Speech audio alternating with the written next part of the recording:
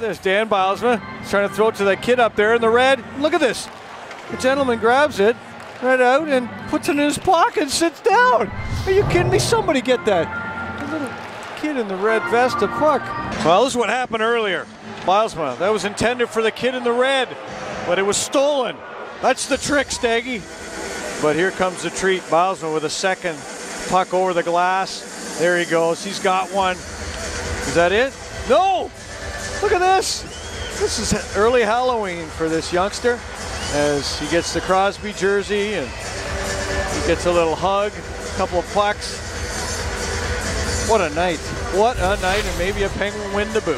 That's fantastic stuff. And the guy who took his puck, he feels shame. he does.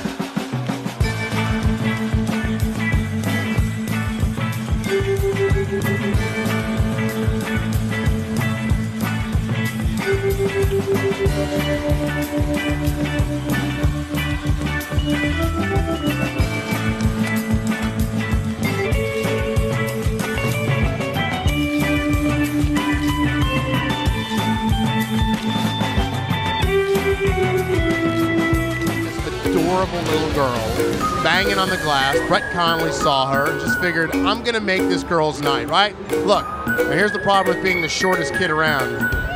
That kid grabbed the first from her. Now look at look at her face. Look at this. Is that the saddest? Look at her. She is devastated. So Connolly comes back, and now that kid steals the puck from her. What are we doing here? Are we raising gentlemen or what? So now Connolly's got to go back get a third puck. If he could rip that pane of glass out and just hand it to her, he would, which would have been nice because, ay, ay, ay, what are we doing? Connolly finally gets it to her. That, hey, that father orchestrated that because only the cute little girl was going to get it. He made sure all three of his kids got a puck. Uh, but look at her, though. Is that all worth it right there?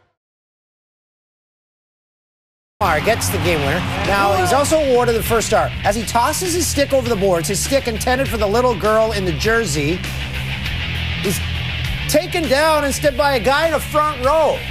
Watch the guy in the blue shirt. Some BMXer comes up behind him, starts laying into him. He just came to the hockey game to watch.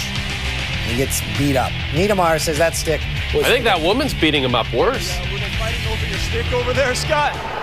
Unfortunately, yeah. All right, well, we have a message for them. Whoever gets the stick first, just hang on to it. Everybody else calm down, okay? Yeah, well, it was for the little girl. So it was, you know, little girl was sitting there, so it was for her. Hopefully right. she gets it.